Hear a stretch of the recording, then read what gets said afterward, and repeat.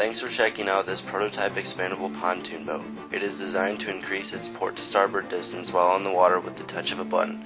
This, of course, increases lateral stability and nearly doubles usable deck space in a standard pontoon configuration.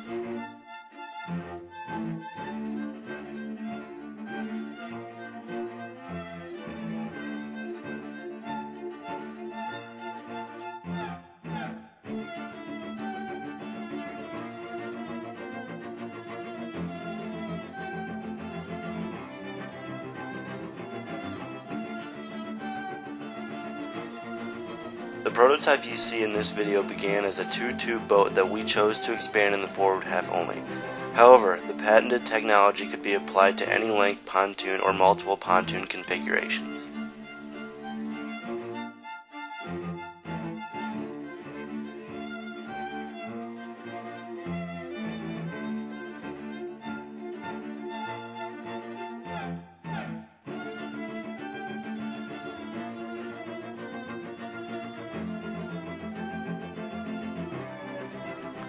This technology of expanding usable deck space on a boat opens a wide range of options for using the space.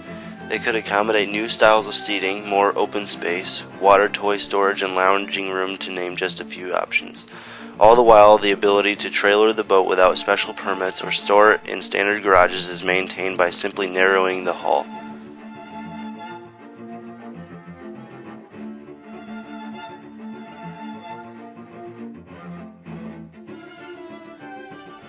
The application outside of the pontoon market is also of interest, as the boat could be a platform for houseboats, rescue boats, and transportation or equipment boats.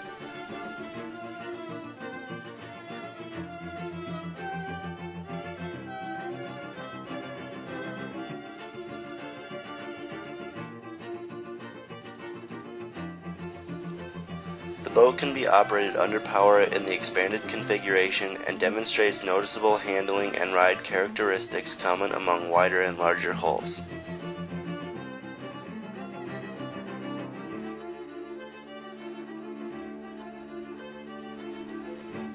This technology is protected by patent and was built by Ray Manderfeld in Elkhart, Indiana.